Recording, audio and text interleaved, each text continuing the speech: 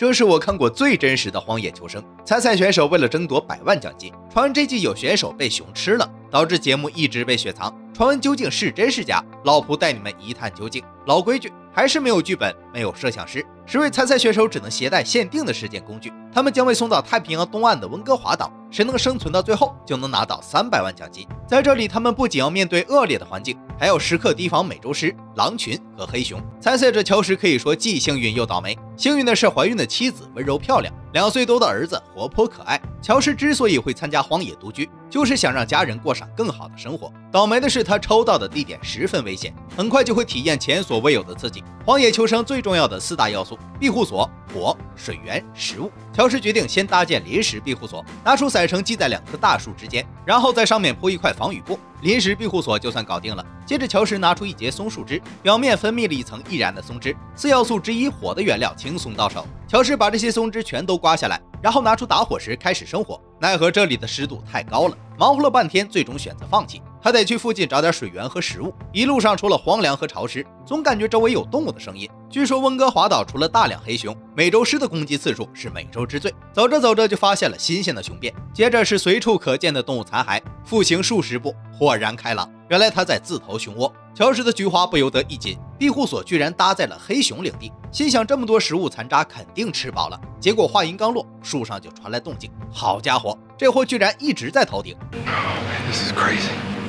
熊家三口可能是确实没胃口，所以暂时不会对乔石痛下杀嘴，但不排除熊爸会教儿子如何狩猎。想到这里，乔石没有一丝犹豫，当即决定迅速离开这里。参赛者乔和乔石非常类似，家中也有漂亮的媳妇儿和女儿。参赛的目的很简单，就是为了钱。岛上的年平均降雨量高达三十多公分，想找到理想的扎营地点并非易事。在满是积水的树丛中穿梭许久，营地没找到，衣服却早已湿透。好在经过他不懈的努力，找到了黑熊开辟出来的兽井。兽井边上有一处区域非常平坦，于是他决定就地搭建临时庇护所。运气好的话，还能和熊大见个面。放下背包，拿出防水布和伞绳，然后把伞绳系在两棵树之间。在见识了这地方的降雨量后，他对庇护所有了更高要求。仅仅坡屋顶还是太简陋，乔把两块防水布缝在一起，搭成坡度更加也更结实的屋顶。本以为这样做晚上会暖和很多，结果到了晚上却是饥寒交迫，再加上没有火源的庇护，可谓是地狱级别开局。乔石这边比他还要惨。他以为离开熊窝就安全了，结果岸边也都是他们的脚印。看来今晚注定要和熊共处了。看看地上还未吃完的鱼头，再看看身后茂密的森林，乔石是真不想回他的营地。周围稍微有点风吹草动，都得咳嗽几声壮壮胆。Hey bear。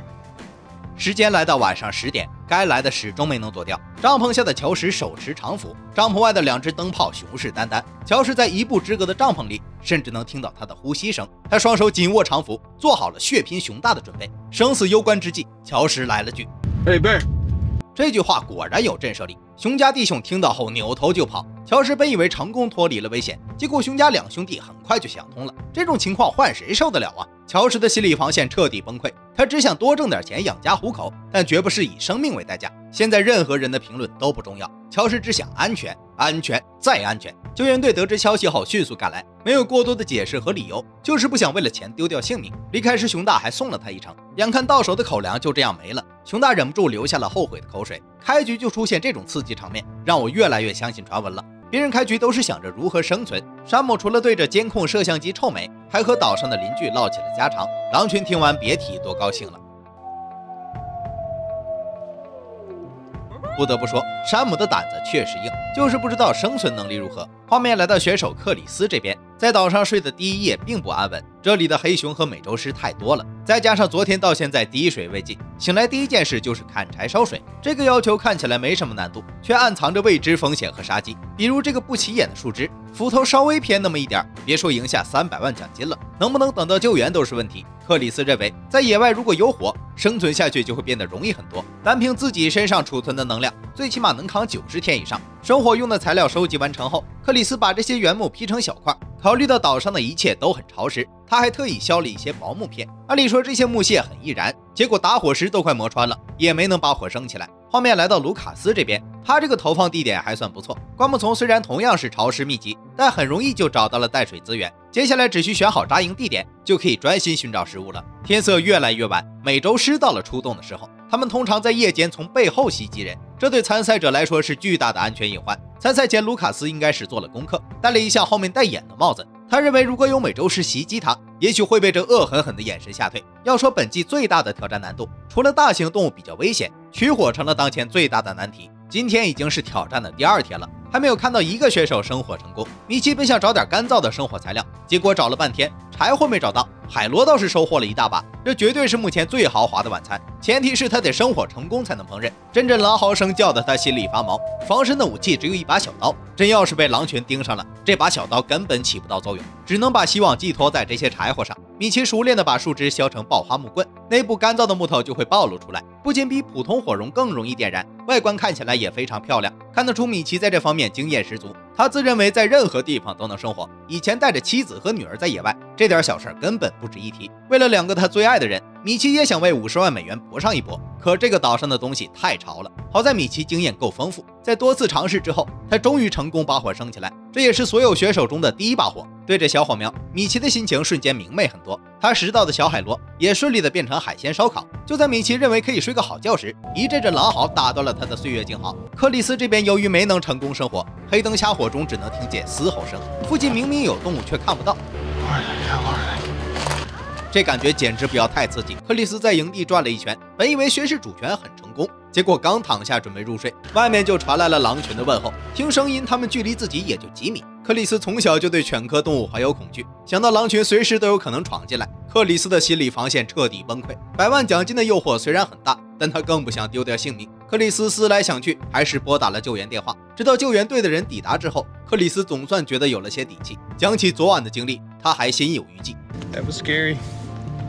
没办法，野外生存充满了风险，换谁都不可能为了这点钱冒着生命危险坚持下去。克里斯走后，场上还剩下八人，百万生存挑战来到了第三天。乔这边不仅没有搞定火源，就连一口干净的水都没喝上。今天他打算去小溪边碰碰运气，看能不能找一些干柴生火，顺便找点食物补充体力。可让他意想不到的是，刚到溪边就有了重大发现。好家伙，这大块头肯定能吃饱。乔率先向黑熊发起了挑衅：“Hello, go on, bear。”黑熊听完，当时就蒙圈了。长这么大还没见过这种猎物，得悄悄绕后，给他来个突然袭击。乔也是第一次离黑熊这么近，心里虽然已经是兵荒马乱，但表面一定要强装镇定。直到黑熊开始嗅探他的气味，乔不敢再嘚瑟，赶紧扭头开溜。今晚说啥也得把火升起来，要不然就真待不下去了。画面来到米奇这边，昨晚他也被狼群问候了，当时狼群离他不到十米远，米奇躲在帐篷里紧握匕首。他说只要狼群敢进来，就立即打开头灯镇住他。然后拿匕首刺穿他的头颅，可能是他气场太过强大，狼群最终没敢闯入。不过这还不是最大的困扰，现在他更担心淡水获取问题。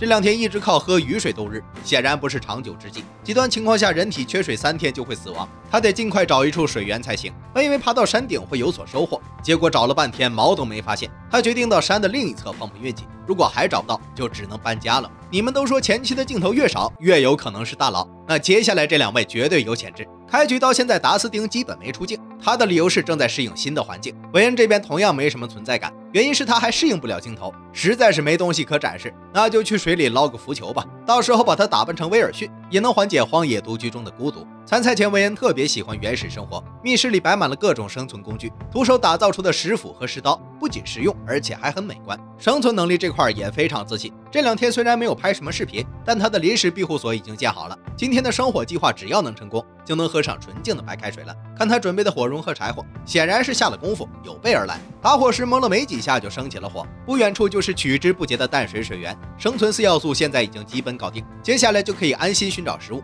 找地方搭建永久庇护所了。后面来到山姆这边。他的水源问题也没有解决，决定在一棵腐木上挖个水槽，然后把防水布铺上去收集雨水，先满足短期内的用水需求，后面再寻找固定水源。相比之下，布兰特就舒服多了。他找到了一条干净的小溪，水中虽然有股烂树叶味，但经过苔藓的层层过滤后，不仅去除了水里的各种虫子，喝起来还有一股淡淡的坚果香。米奇这边为了寻找淡水水源，已经在岛上找了八个小时，好不容易来到了山脚下，结果这地方却是一洼海海水。就在他即将失去耐心和希望时，对面山涧中传来了哗哗流水声，可想要从这里游过去不现实，所以他决定制作一艘小船。想看最真实的荒野求生，还得是这种没剧本、没摄像师、没道具、更没有后勤车的节目。选手不仅要具备强大生存能力，还得经过摄影师特训方能参赛。为了生存到最后拿下百万奖金，卢卡斯的庇护所建得非常结实。毕竟这个岛上的野兽太多了，为了赶在天黑前把床做出来，他只能先关掉摄像机，专心干活。参赛前，卢卡斯动员家人和朋友，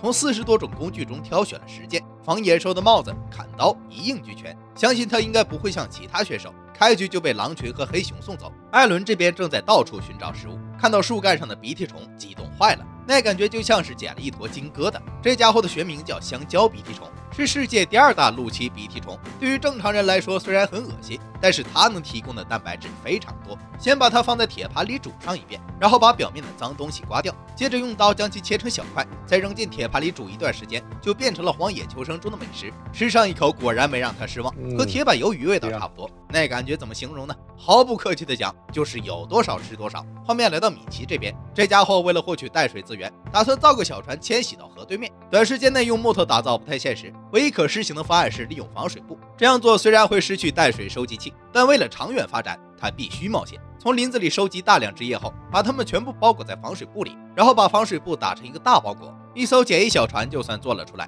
至于能不能把它带到对岸，就看接下来的试航结果了。为了防止落水后衣服被打湿，米奇脱光后小心翼翼骑了上去。想不到小船的稳定性非常好，时间不长就来到了河对岸。米奇顺着水流声音找去，果然看到了源源不断的淡水，生存下去的信心总算多了几分。乔在营地附近遇到黑熊后，生火对他来说显得更加迫切。奈何他这个营地处于沼泽区。随便找个木头都能掐出水，所以他决定立即打包行李前往对岸寻找新的落脚地点。无论是出于生活还是避险，这个决策显然是最正确的。万一黑熊夜袭他的老窝，下场指定和其他选手一样。经过一段时间的勘察和对比，乔终于找到了理想中的营地。这里面朝大海，春暖花开，附近可以找到干燥的柴火，涨潮时还有很多海带和贝壳，再配上不远处源源不断的淡水，食物和水源问题全都解决了。这简直就是他梦中的地方。乔的信心瞬间暴增百倍，生存四要素只差一项生活。乔一刻也没耽误，赶紧消木屑。时间不长就升起希望之火，至此生存挑战正式步入正轨。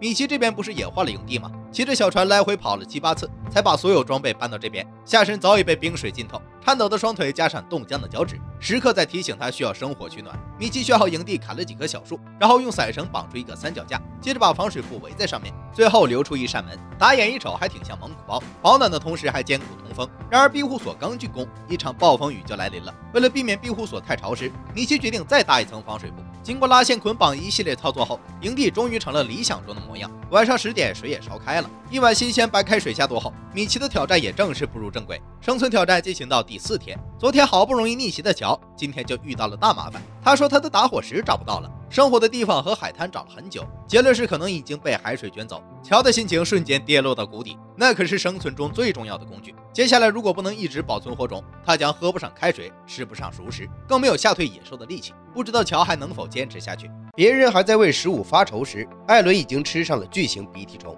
不过单吃这东西是拿不到奖金的，只有荤素搭配才能生存下去。今天是艾伦参赛的第四天，他已经开始习惯岛上的节奏，每天早上都会到海边转上一圈。这地方就像免费的海鲜自助餐厅，海藻最嫩的部位当做餐前甜点，鲜脆爽口且没有科技与狠活。巨藻专挑汁肥叶大的部位，撕下一块放进嘴里咀嚼，口感绵滑且富有嚼劲。提供的热量虽然非常低，但是它能补充维生素 A、B、C、D，而且这家伙每天能长两米多，堪称世界上长得最快的植物。吃完巨藻，还有最后一道菜，这玩意儿的味道一言难尽。即使他这种不挑食的吃货，也会不由自主想搞点野味吃。卢卡斯的策略和艾伦不太一样，挑战前期他更注重搭建庇护所。他的目标是建一栋坚固的木屋，原因是四面有墙庇护更安全，就算黑熊和美洲狮来了，也有足够的时间拿武器防守。昨天他在附近发现了一些粘土，这可是荒野求生中的稀缺资源。于是他决定用粘土造个壁炉，到时候不仅睡觉睡得安稳，睡醒后就可以烤火烹饪美食。入冬前只要储备足够多的食物，就可以躲在大别墅里苟下去，对着大树一顿疯狂输出后，却发现计划赶不上变化。卢卡斯用粘土做了下实验，结果发现粘土质量根本不行，简单的小物件都无法烧制，更别提造一个大壁炉了。看着砍下来的一棵棵大树，发现今天的体力算是浪费了。卢卡斯的心顿时凉了一半。画面来到维恩这边，他认为岛上最大的威胁是野兽。这几天虽然没有遇见熊和美洲狮，但他无时无刻不在担惊受怕。今天在海边捡到了一只海鸟，本以为是老天赏赐给他的食物，结果却发现这鸟早已经饮恨西北，身上没有血迹，应该是病逝的，体内指定全是寄生虫和病菌。无奈只能给他安排一场水葬，不是因为同情海鸟死无葬身之地，而是为了防止肉味引来不速之客。前两天搭建的临时帐篷很糟糕，潮水随时都能把它给吞没了。无奈他只好重新寻找营地，在灌木丛里转了一大圈，实在不愿多浪费体力的他，决定用一棵倒下的大树做顶梁。周围虽然有熊出没的痕迹，但维恩为了图省事儿，抱着侥幸心理就地扎营了。没有框架结构，也不是砖混，只是从附近砍了几十根树枝，把它们拼接起来，铺上垫子，离地单人床就做了出来。最后把防水布往上面一搭，维恩自信满满的表示。And if it's a bear, kind of hoping I just have to say, "Hey, bear." 镜头来到山姆这边，这货终于开始干正事儿了。他的庇护所初看还挺有讲究，将砍了的原木马放在地面上，最起码有了一个基础框架。只是两边的支架和横梁，属实有点业余了。看上去虽说是 A 型结构，却没有稳固的三角形支架。防水布往上面一搭，松松垮垮，感觉一阵大风都能给它吹倒。可能山姆也意识到了这点，又加了一层防水布配重。乔昨天不是换了新营地吗？就在他以为走上人生巅峰时，却不小心把打火石搞丢了，人生立刻从波峰跌到谷底。明明是潜在的百万奖金得主，却有可能连开水都喝不上，更别说取暖、驱赶野兽了。即使他有一万个不甘心，也只能服从命运的安排。岛上的一切太过潮湿了，钻木取火基本看不到希望。有人会说，为什么不保存火种？我想应该是风险太大了吧，毕竟不是十天半月的事儿。总而言之，岛上确实很危险，不管是被黑熊吓跑的，还是真把打火石弄丢了，有勇气待四天就很厉害了。Oh. Hey, bear. 韦恩吓得赶紧往帐篷里钻，他以为吼两声熊大就会离开，却没想到这头熊实在太饿了，说啥也不能错过这顿美食。韦恩面前有一把长柄斧，奈何他根本不敢去拿。此时熊大嗅着肉味儿赶了过来，韦恩在帐篷里听着阵阵嘶吼声以及树枝不断被踩断的声音，他是真不想要这笔奖金了，毫不犹豫按下了救援按钮，只希望这一切还不算太晚。正当他翘首以盼救援小组时，Ah, 好家伙，黑熊还没把他送走，节目组差点把他给吓死。Yes, yes, I'm tapping out. Come get me. 救援队还算有良心，一分钟也没敢耽搁，立刻向维恩的方位出发。由于地势和路线有所限制，船和飞机都无法进入丛林里，救援队只能开车一路疾驰。尽管如此，也要三个小时路程，只能祈祷黑熊不要太心急。黑熊显然不是这样想的，他正在帐篷边上疯狂试探。韦恩此时就像老鼠遇到了猫，只能躲在帐篷下瑟瑟发抖。在黑熊的步步紧逼之下，韦恩脸上充满了无力感。Sorry, whoever I disappoint. I'm sorry. 相比之下，艾伦这边就舒服多了。白天去海边吃巨藻自助餐，晚上还能搞点帽贝做海鲜烧烤。但考虑到挑战不是十天半月的事儿，他准备找个资源更丰富的区域，到时候可以下次网布置陷阱，拿下冠军就指日可待了。只是夜深人静时的孤独感，属实给他带来了不小的压力。山姆这边可以说一直心宽体盘，早早就进入梦乡和媳妇儿会合去了。达斯汀这边是丝毫没有存在感，开局到现在什么镜头都没拍，不是对着夕阳感叹大自然，就是窝在帐篷下思考人生意义。来的时候说非要赢下百万奖金，现在却一个劲儿的说想念媳妇儿和狗。时间很快来到了凌晨十二点多，救援队仍在努力寻找韦恩的位置。韦恩为了证明他还活着，一直在讲话。他手里虽然有防狼喷雾和信号弹，但这时候基本起不到太大作用，只能通过不停说话缓解紧张。I'm just hoping he hears my voice and he won't come up here. 凌晨两点多的时候，救援队总算来到了附近，装备好武器，迅速进入丛林寻找。他们已经和维恩失联了半个小时，心情和维恩相比有过之而无不及。毕竟选手获胜才给五十万美金，韦恩要是有个三长两短，这点钱可不够赔的。通过一路追踪定位装置，救援队终于来到了韦恩附近。他们边大声呼喊边释放信号灯。韦恩看到灯光，终于松了口气，赶紧点燃信号弹指引位置。Here they come. 面对镜头，虽然有些惭愧，但总比被熊当做晚餐吃掉好。能安全回家已经是最大的幸运了。hey, bear. Hey, bear. 在救援队的声波护航中，韦恩在遗憾中离开了小岛。生存挑战进行到第五天，场上只剩下六名参赛选手。天还没亮，卢卡斯就被惊醒了，听着远处传来的雷声和闪电，看来一场暴风雨即将来临了。节目组配的防水布效果很差，短时间降雨还能勉强凑合下，时间长的话肯定会漏水，他得想办法完善一下。受暴风雨的影响，选手们都被困在了营地，闲下来他们就会胡思乱想，这种孤独感是非常致命的。山姆只好磨刀打发时间，艾伦这边也有点抑郁。一直积极寻求生存的他，现在也开始思考挑战的意义。虽然也很想念家中的媳妇儿，但凭借以往的经验来看，我还是非常看好他的。米奇不是换了新营地吗？以为这里的资源非常丰富，结果在岛上找了半天毛都没有。不过他在杉树上发现了树枝，这东西可以当做万用良药，对伤口愈合有很大帮助。达斯丁每天都在期待退潮，这样就可以捡点东西吃，比如这种随处可见的巨藻，掰断一节削皮后咬上一口，就像芹菜一样清脆爽口，加上本身自带的咸味，绝对能让达斯丁吃到饱。不过这玩意儿吃多了会脱水，海浪除了能带来大量巨藻，还会留下很多上等木材，带回去不仅可以建房，还省去了四处砍柴的活儿。正当他为此感到庆幸时，好家伙，自拍风险就是大，要不是胳膊在下面垫了下，很可能就被这根原木爆头了。为了复仇，他决定把原木拖回去，千刀万剐后给庇护所添砖加瓦。参赛前为了说服妻子，他可是费了九牛二虎之力，所以无论遇到什么样的困难，都不能在妻子面前丢脸。画面来到米奇这边，今天是他挨饿的第五天，身体本就急需补充能量，还得带着五十斤的摄影器材。爬上爬下寻找捕鱼的地方，来到河边，米奇观察了下，发现树上的老鹰正在打饱嗝，再加上地上还有没吃完的鱼头，米奇断定这条河肯定有鲑鱼。于是他不再迟疑，挽起裤腿就去下网了。刺网两端分别用木棍固定，中间再放点鱼饵和石头配重。接下来能否吃上海鲜大餐，就交给时间和运气了。布兰特这两天有点崩溃，原因不是黑熊打他的主意，而是森林中太过压抑和潮湿。涨潮时，这片沙滩将全部被淹没，海水距离森林只有一两米远。自己只能被逼回到丛林中，这里的一切都黏糊糊的，树上长满了湿漉漉的苔藓，唯一的好处就是蘑菇多，它们能长满整个树桩。每天都窝在这种环境中，肉体和精神遭受着双重折磨。参赛前自己虽然是名退役军人，有着无数次训练和作战经验，但在这里仅仅生存了五天，肉体就到了崩溃的边缘。布兰特反思了一下，认为这种情况是因为脱水。刚退潮时，小溪里掺杂着海水，每次喝水都要等一段时间。才敢去远处打一些回来。奇怪的是，明知道水不安全，布兰特却没想过烧开后再喝。他认为泥炭藓中还有碘，能起到净化水的作用。但从他的喘息中能听出来，他身体应该已经出现了问题。米奇这边明显比他谨慎许多，喝水只喝烧开后的才放心。但由于这地方太过潮湿，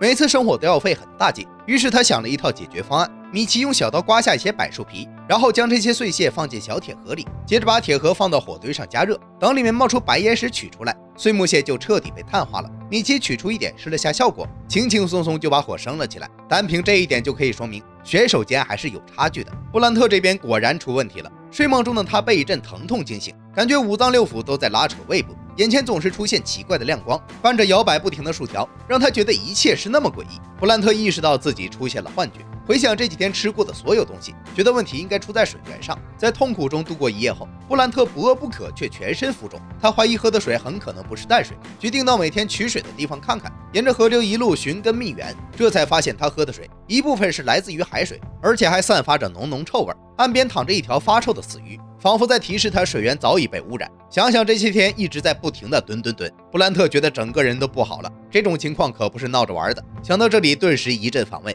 艾伦自制力跟日历棍，每生存一天就会刻上一刀。这段时间一直吃巨藻有点腻，今天他打算换一种新吃法，把巨藻卷成卷饼的形状，一口咬下去，鸡肉卷的味道就上来了。卢卡斯今天的运气也不错，在林子里发现了很多鸡油菌，它可是荒野求生中的最佳配菜。这时候要是飞过来一只松鸡，就能吃上小鸡儿炖蘑菇了。布兰特不是喝了几天污水吗？脱水加上幻觉，证明他已经中毒。军人的钢铁意志已经被彻底击溃。再三思量之后，联系了救援人员。五十万美金对他来说虽然很香，但并不值得为此付出生命代价。身体的不适让他吐了一次又一次。救援队赶到后，布兰特大倒苦水。It's hard, dude. It's hard.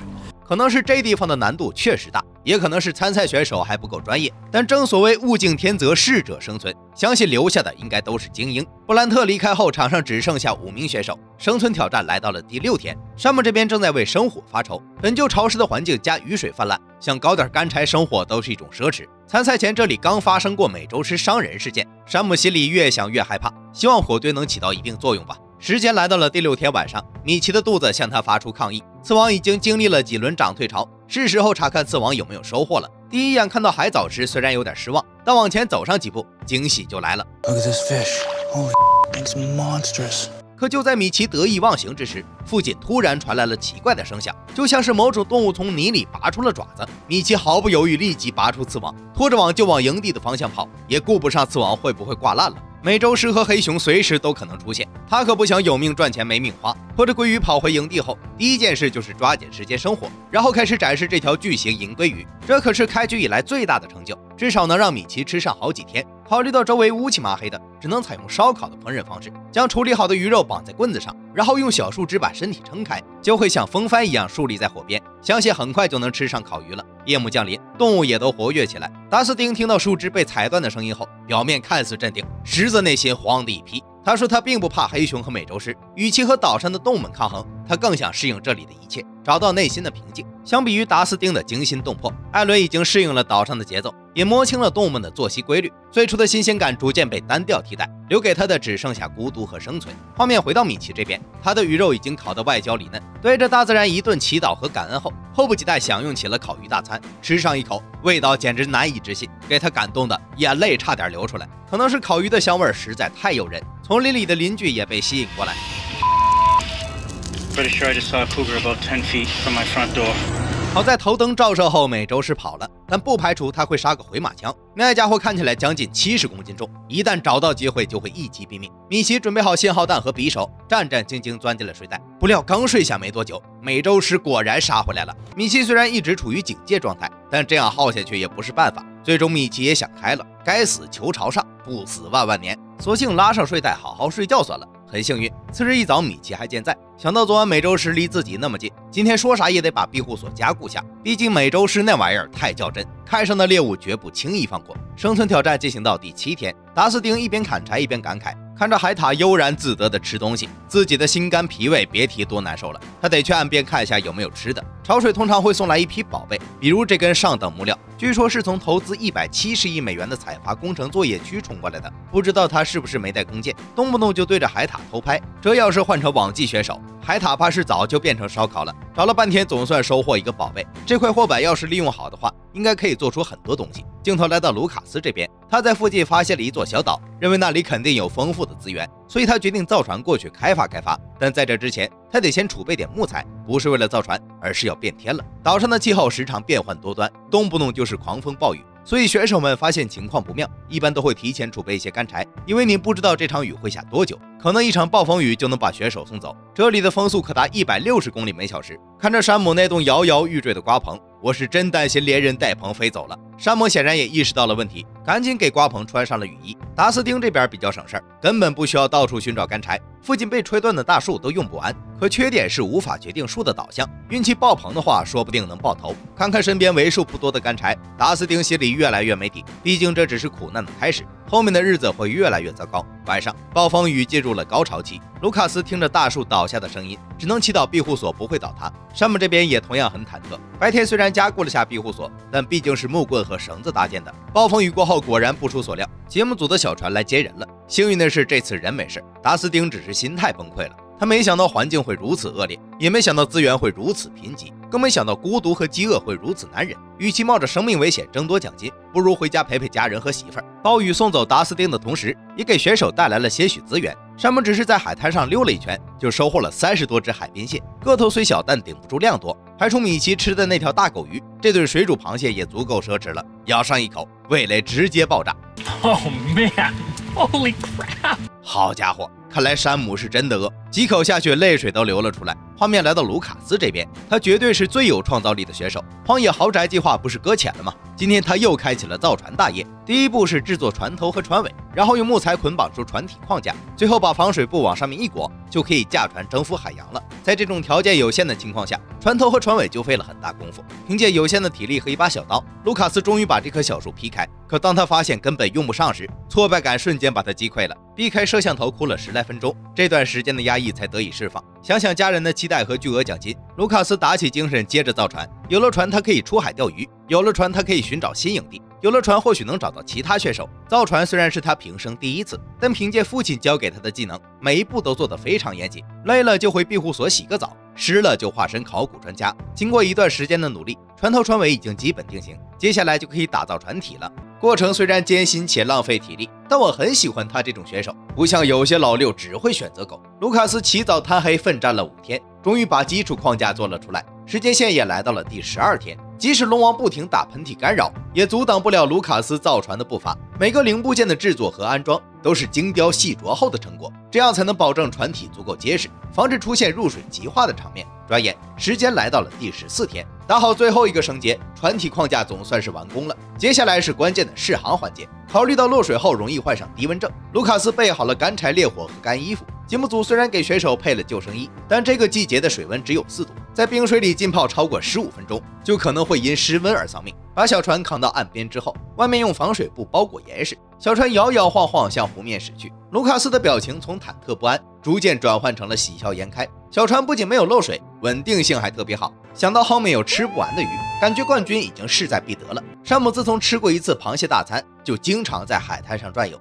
可惜并不是每次都有收获。今天转了半天，只找到一根巨藻。本以为做成石板烧会好吃点，结果尝了尝，还不如生吃，情绪顿时就绷不住了。艾伦之前还能吃到鼻涕虫，如今也变成了靠天吃饭的猪。由于潮水只能带来早餐和晚餐，所以他决定苟在庇护所节约体力。实在无聊就表演表演诗词歌赋。别说嗓音和文化水平还挺高。艾伦前两天就下好了刺网，为了迎接即将到来的海鲜大餐，他决定在营地附近建个厨房，选址不能离庇护所太近，容易引来肉食动物，也不能太远。太远，吃完饭走到庇护所，补充的能量就消耗差不多了。最近几天，艾伦明显察觉到精神状态一天不如一天，所以他得趁现在还有体力，提前把基础设施全都建出来。挑战进行了十五天，下了十三天雨，厨房的大致框架刚搭建出来，龙王又憋不住开始放水了。艾伦不由得加快了速度。后面用树枝覆盖严实后，又迅速延伸出了一节屋顶。接下来厨房就差食材了。卢卡斯的小船试航成功后，认为只在近海捕鱼是不够的，今天他打算尝试下深入探索。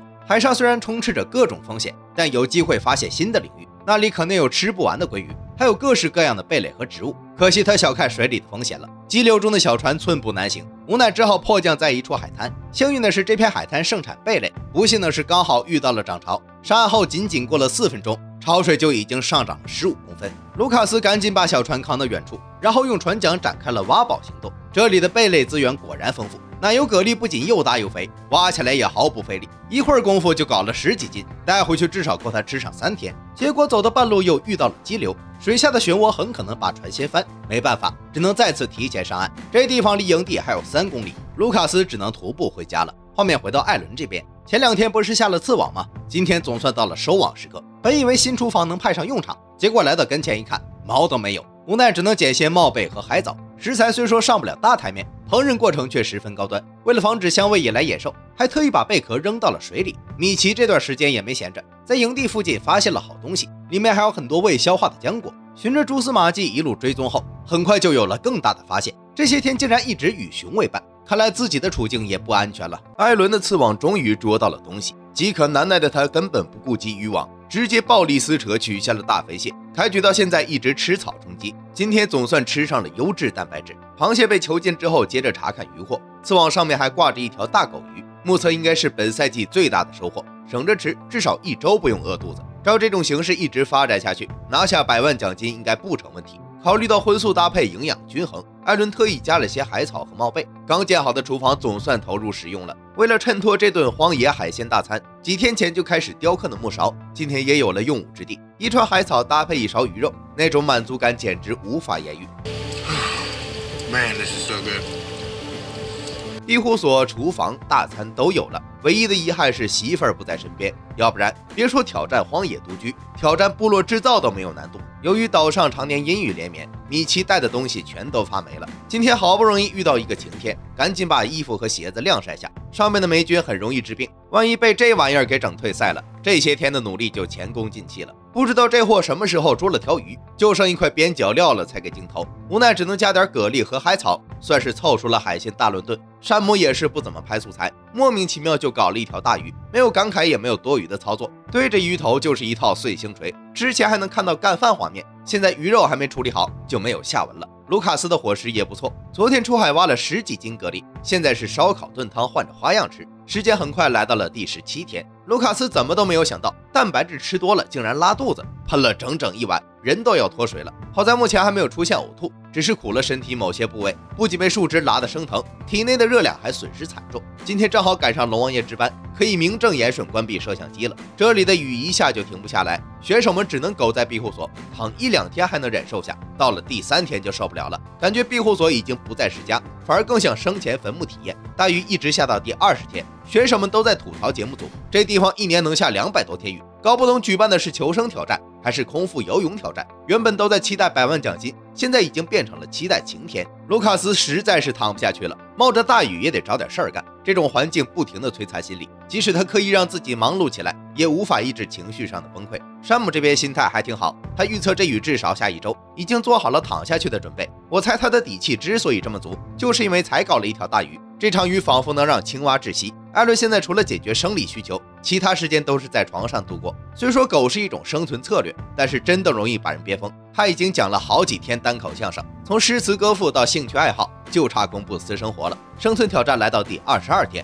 米奇本来是要查看刺网的，结果一道彩虹打断了他。Yes. Now we're talking. 终于拨开云雾见青天，久违的阳光再次出现时，选手们仿佛渡劫成功一般。卢卡斯身上都快长蘑菇了，赶紧脱掉衣服晒晒太阳。Oh my god. 艾伦这边也毫不吝啬，干脆脱得一件不剩，目的不是为了晒太阳，而是拉肚子弄脏了身体。雨过天晴，艾伦出水芙蓉，开叉旗袍甚是辣眼睛。山姆这边除了晒身体，还把老坛睡袋晒了出来，阳光透过森林照射在身上，就像感受到了光的力量。好不容易等来了阳光，山姆决定制作几个派尤特。这种陷阱简单且捕获率极高，只需几个木棍和一节绳子即可。对付营地里的跳鼠非常奏效，唯一的难度就是架设石板。由于重量全都集中在连接点上，稍有不慎，石板就会砸到手指。这不，山姆仅仅设置了两个，手上就已经是遍体鳞伤。但愿再来时能有所收获吧。跳鼠那点肉虽然不够塞牙缝，但总比饿肚子吃海草香。这个季节能吃的植被早已枯萎，加上岛上的食肉动物比猎物还多，所以他们只能把目光放在海边。艾伦向往不是捉到了大鱼吗？今天他又过来检查刺网了，结果刺网上面除了一堆海草，就只剩前两天扯螃蟹留下的洞，是时候拓展下食物获取途径了。之前在海滩上捡的矿泉水瓶，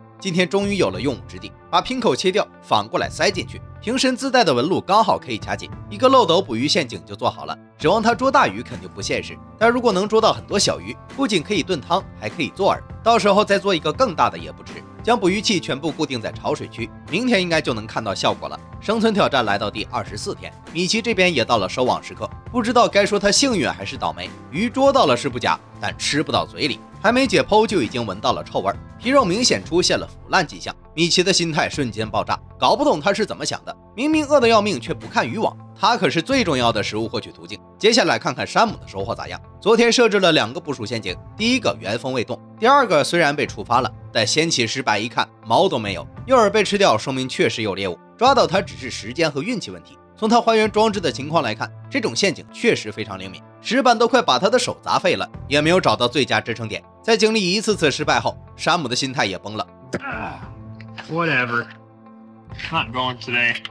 画面来到卢卡斯这边，这货终于舍得出海钓鱼了。前两天在海滩上捡了个浮标，他打算用这东西做一套夜绳钓。这种装置一百年前人类就在使用，主要钓捕游速较快的大型鱼类。用一根绳子将浮漂串联起来，然后在绳子上绑几个鱼钩，就可以抛钩坐等上鱼了。时间来到第二天早上，卢卡斯早早搬出他的小船，迫不及待地朝钓绳划了过来。此时钓绳已经飘到了深水区，按理说是有机会钓到大鱼的。可当他把钓绳全部拉出后，饵料上连个咬痕都没有，卢卡斯的自信心备受打击。费了那么多体力和精力造船，到现在为止就挖了十几斤蛤蜊。夕阳下，卢卡斯越想越生气，气着气着就成了痛哭流涕。艾伦昨天设置的捕鱼陷阱，今天也到了检验成果的时候。想不到效果完全出乎他的意料，第一个瓶子就收获了几十条，个头虽然小，但顶不住量多。接着是第二个，收获满满；第三个、第四个同样是大丰收，加点海草足够艾伦饱餐一顿了。他心想，这玩意儿竟然这么好用，为啥不做一个大的试试呢？这种捕鱼器制作成本非常低，树枝、藤蔓或者竹子都可以编制。艾伦将收集的树枝剔除干净，先把开口处的箍子绑出来，简单比划了下，确实挺大。然后是围绕开口绑扎龙骨，接着在龙骨间加装圆环支撑，整体结构就会变得十分稳固。最后用树枝藤蔓编织细密，捕鱼器就做的差不多了。但想要陷阱正式投入使用，还是需要大量树枝和时间的。后面这几天，艾伦除了寻找食物，其他时间都用在了捕鱼器上。转眼时间来到了第三十天，捕鱼器的缝隙终于被填充严实，再做一个漏斗形罩子塞进去，大型捕鱼神器就算搞定了。There it is in all its glory.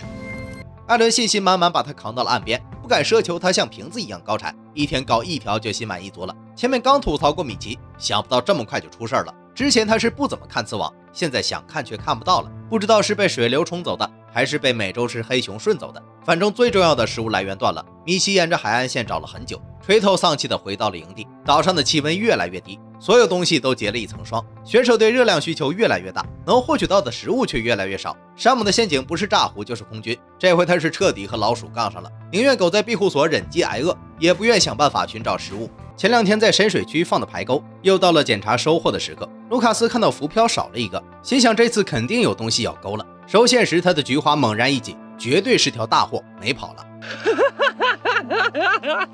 I caught a fish.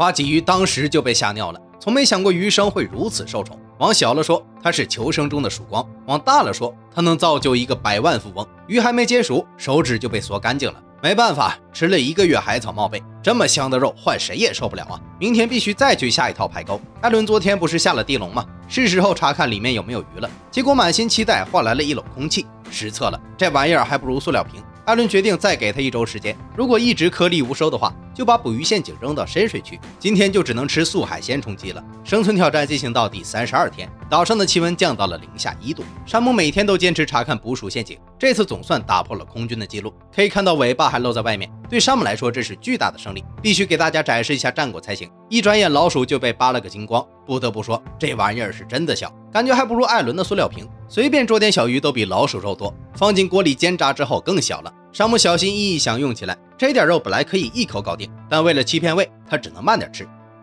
Mmm. Dang. 山姆说这段时间瘦了很多，相信老婆应该会很高兴。镜头来到卢卡斯这边，为了方便获取更多资源，他决定把营地搬迁到海边，建一个蒙古包样式的海景房。理由是海里一年到头都有鱼，林子里除了黑熊只有狼群。乍一听这话非常有道理，可是，在挑战中期大秀基建，不是酒足饭饱没事干，就是费尽体力早滚蛋。搬家可没有造船轻松，不仅费体力，还有点费命。为了避免屋顶的树枝掉落，只能先让他提前砸自己一下。清理完场地，接下来开始打桩。这活放在半个月前很轻松，如今身体机能早已亏虚，干不了几分钟就气喘吁吁。就这样歇歇停停，一直到天黑。蒙古包的基础框架都没做出来，今晚只能以天为被，以地为床。当前气温降到了零下几度，卢卡斯躲在睡袋里瑟瑟发抖，不知道这个决策是否正确。时间来到第二天早上，山姆这边飘起了零星小雪，无数陷阱给他带来收获之后，又在营地附近加装了几个，是时候看看收成咋样了。第一个陷阱稳如老狗，第二个虽然被触发，可惜是炸糊，第三个总该有了吧？掀开石板，果然有只薯片，山姆高兴的嘴都要裂开了。昨天刚吃过煎炸小老鼠，今天他决定换换口味。据说这玩意儿并不难吃，不知道是真是假。有经验的小伙伴出来科普一下。老规矩，肉虽然不够塞牙缝，但吃慢点应该能欺骗胃。卢卡斯昨晚是真的冻坏了，今天说啥也得把蒙古包建出来。周围的一圈木桩已经固定结实，外面包裹一层帆布充当墙壁，就可以在室内建造壁炉了。为了防止蒙古包着火，卢卡斯特意摆了一层石头，不仅防火，还能有效折射热量。壁炉搞定后，接下来是封顶，先用木棍搭出锥形结构，再用防水布包裹严实，丛林版蒙古包就搞定了。只是这排烟效果有点拉胯，不知道的还以为这是熏肉房。岛上的气温降到了零下九度，艾伦只是到海边看了下刺网，手脚就被冻得差点失去知觉。岛上的一切全都银装素裹，行走在草地上咔咔作响。这种情况显然不适合外出，所以他决定苟在庇护所烤火。想不到冬天会来得如此突然，选手们的庇护所实在简陋。接下来环境越来越恶劣，不知道还能坚持多久。艾伦的刺网又捉到东西了，距离五十万美金又近了一步。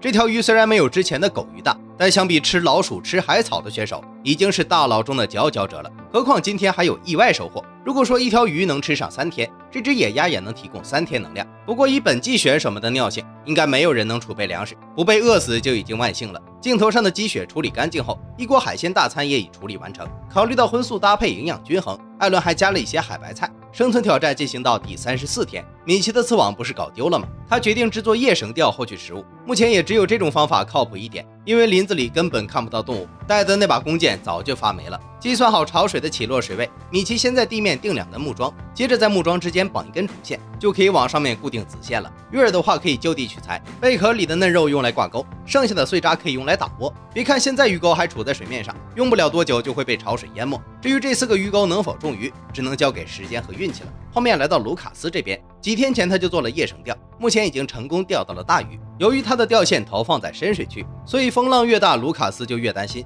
查看钓线时，果然发现了异常。等他赶到后，已经为时已晚，钓的鱼已经被鸬鹚吃了。不过鸬鹚被缠在了鱼线上，说他钓了只大鸟，应该没毛病。卢卡斯表示这种肉并不好吃，但即使给鸬鹚做手术的话，里面的鱼应该不会变味。卢卡斯给他做完剖腹产后，查看有没有寄生虫可以理解，但是把翅膀扔掉就令人费解了。我记得他们不是不吃内脏吗？回到庇护所，赶紧起锅烧火，抠完脚，肉也刚好煎熟。这时候品尝简直不要太香，干煎如此，硬是吃出了牛排味儿。配上一条轻微食腐的海鱼，又有信心生存到最后了。挑战进行到第三十五天，米奇昨天下的钓鱼装置是时候检查有没有中鱼了。往常这个时候潮水已经退去，今天的水位却高了一米多。考虑到当前的气温很低，冒险下水显然是不可取的。米奇只好坐在岸边等退潮。这一等不要紧，潮水没下去，孤独寂寞冷却涌上心头。想到家里的妻子和女儿，米奇的内心迷茫了。山姆的心态也有点小崩。挑战初期感觉这里还挺好，如今除了饥饿，只剩下孤独。这里的一切让他很厌恶，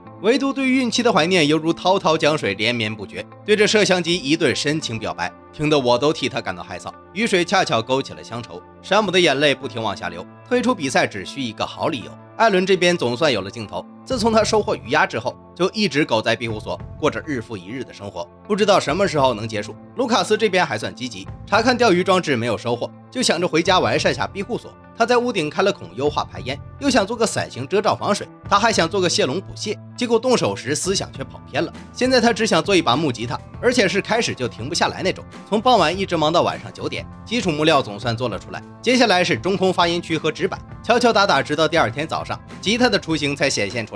白天做出各种零部件，晚上装配琴弦试音，连轴转了三十多个小时，终于达到了理想中的模样。效果还不能及时给大家展示，因为再不睡觉可能会猝死。时间来到第三十七天清晨，营地内传出了动听的歌声。我能感受到他的孤独和凄凉，能感受到他的心酸和无助，能感受到他快扛不住了。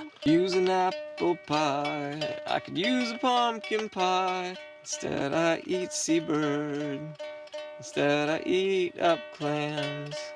Eat weed stewed up.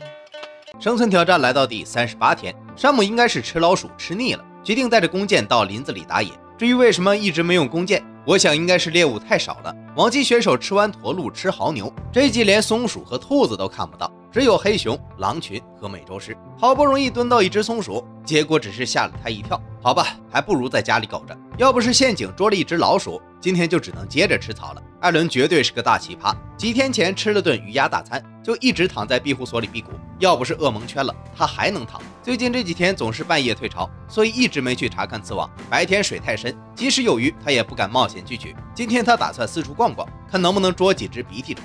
实在找不到，煮点树皮也行。结果在林子里转了半天，他又吃了一肚子海草。不管了，回家接着躺。镜头来到卢卡斯这边，他已经活成了荒野歌手。自从有了吉他，就彻底颓废。回顾参赛以来建的三个房子，相比其他人简直好太多了。而且造的小船也很给力，利用它不仅挖了很多蛤蜊，还可以滑到深水区钓鱼。明明有拿冠军的潜质，却偏偏有颗林黛玉的心。再加上这几天熬夜做乐器，本就虚的身体更是雪上加霜。现在已经到了身心俱疲的地步，天天以泪洗面，怕是扛不住了。果然，在第三十九天的时候，卢卡斯选择了弃赛，一手好牌被他打得稀烂。要我说，没事少折腾，多出海。即使深水区钓不到大鱼，多挖点蛤蜊也够吃的。随着卢卡斯的离开，场上只剩下三名选手。艾伦实在是躺不下去了，他得看一下刺网有没有收获。结果来到岸边一看，还没退潮，看来今天只能接着吃草了。不得不说，他的牙口确实好，无论是海藻、海带还是鼻涕虫，到他嘴里都能吃出肉的感觉。吃饱喝足，接着回家躺去了。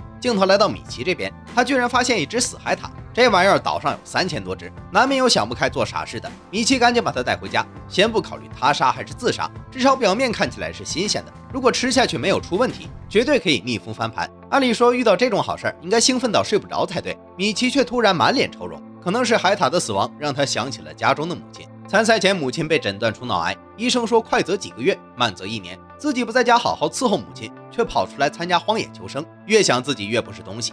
生存挑战来到第四十二天了，艾伦已经很久没看磁网了。今天无论如何也得看看情况。不得不说，他的磁网确实争气，每次捉到的品种都不一样。这次收获两条白斑角鲨，世界上最常见的鲨鱼种类。考虑到营地的篝火容易熄灭，处理好鱼肉，赶紧往营地跑。结果还是来晚了一步。艾伦立即展开抢救，费了老大劲儿才重新点燃。天柴家伙炖了一段时间后，终于吃上了久违的蛋白质。为了避免引来猎食动物，他从不在庇护所干饭，因此还特意建了个厨房。不知道是废弃了还是怎样，今天非要就着雨水吃饭。原本狗在家里没理由，现在是吃饱喝足加下雨，根本找不到理由出庇护所。中途除了喝水、排水、动一下，谁都不能把它和床分开。山姆这边和他不分伯仲，宁愿躺在床上挨饿发牢骚，也不愿出去找点蛤蜊吃。节目组和我都快疯了，根本没有镜头可剪。画面回到米奇这边，他虽然捡了一只海獭，却因思念母亲身心俱疲，劈柴的时候差点喘不上气。想到母亲已经时日无多，一切都变得毫无意义。他不想为了钱错过母亲最后的人生。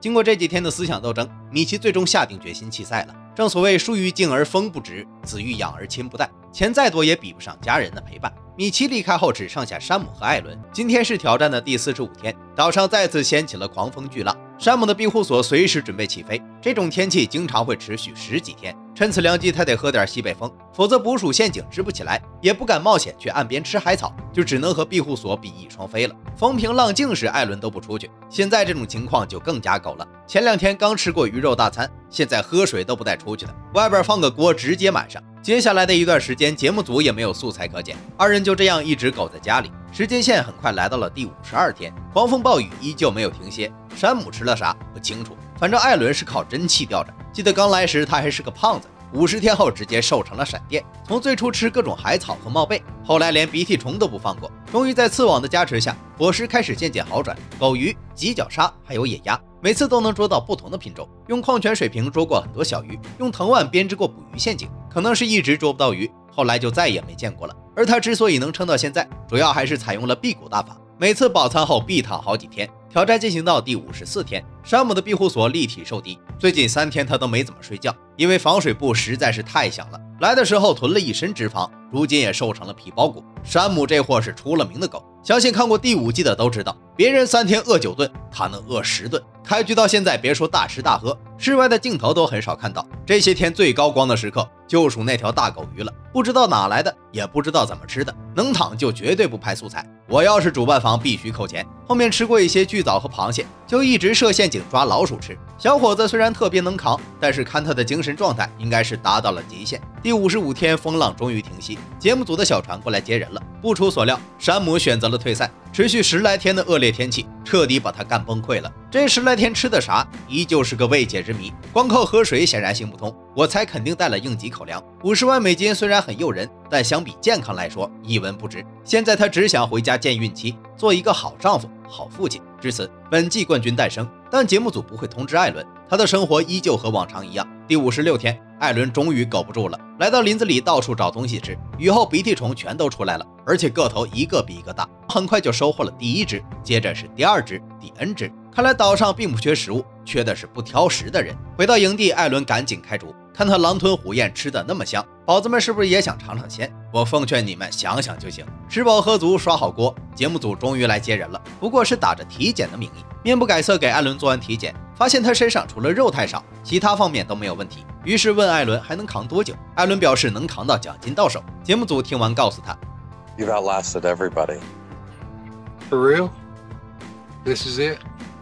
艾伦狂喜中略带一丝羞涩，口若悬河的他竟然一时语塞。过了一会儿，艾伦突然来了句：“要不我们把房子点了？你们肯定带的有打火机。”此时妻子从背后走了出来，二人抱在一起较量一番。艾伦把媳妇儿带进屋里，给他看了看日历棒，媳妇儿也拿出一个信封，让艾伦猜猜里面装的啥，是不是验孕棒？这句话可不是我瞎编的，艾伦当真是这么问的。拆开一看，是五十万美金支票。两人开始商量钱该怎么花。至此，荒野独居第一季杀青。传言有选手被黑熊吃了，纯属他人制造噱头。说实话，我一直都不信。好了，终于把坑填满了，接下来更点啥呢？